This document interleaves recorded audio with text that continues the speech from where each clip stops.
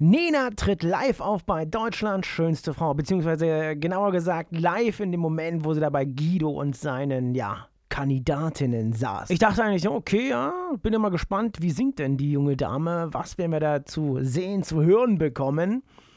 Und ich war noch überrascht. Ah, nein, ich war nicht überrascht. Mir war eigentlich schon klar, dass das richtig scheiße wird. Man muss wirklich sagen, das war eine totale Blamage. Es war schief es war dünn, also kein Druck in der Stimme, da das Volumen gefehlt.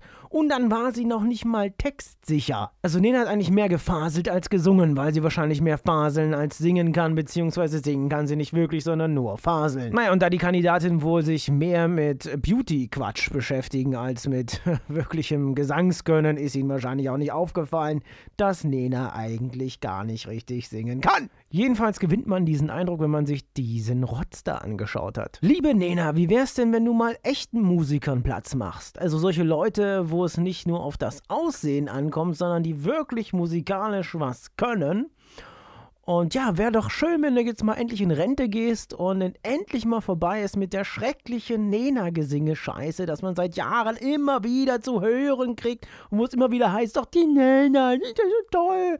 Haaren damals in ihrem frechen roten Röckchen. Oh, die singt so toll, tolle Texte. Wirk, wirk, wirk.